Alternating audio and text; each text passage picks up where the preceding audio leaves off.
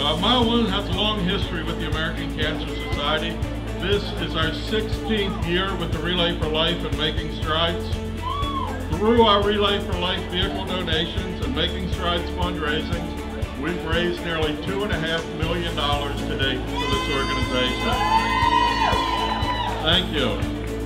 Our 2014 efforts raised approximately $143,000. Our goal this year was not to beat that, but was to double that and exceed $250,000. So at last count, Andrew told me this morning we were up over $285,000 and still going strong.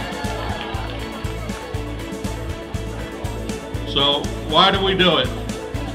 And I mention every year, why not?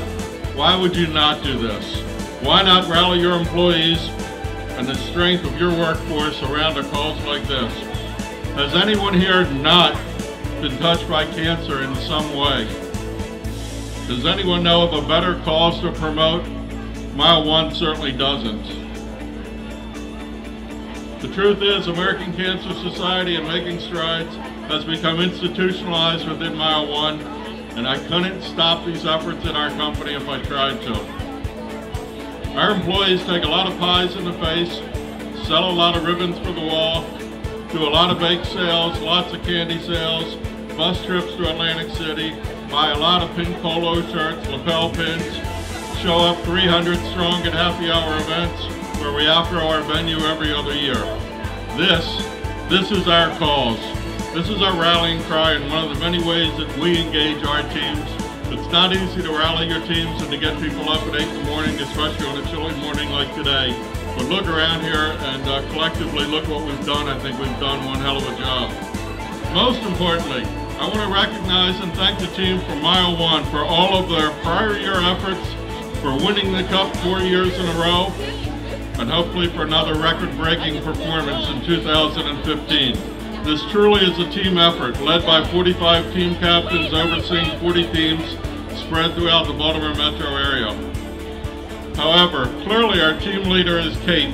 Kate has raised the bar on this effort over the past several years and motivated the entire Mile 1 team to take it to another level. Unfortunately, Kate couldn't be with us today, but I still want to thank Kate, Katrina, Jenna, Mark, and the entire Mile 1 marketing team. Just an outstanding effort on their part. Finally, I'd be remiss if I failed to mention my father, Jerry Fader. Jerry started this tradition of Mile 1 16 years ago. To this day, his passion and his caring for ACS has left a lasting impression with Mile 1 and our partnership with the American Cancer Society. He'd be very proud to see his team win the Cup four years in a row.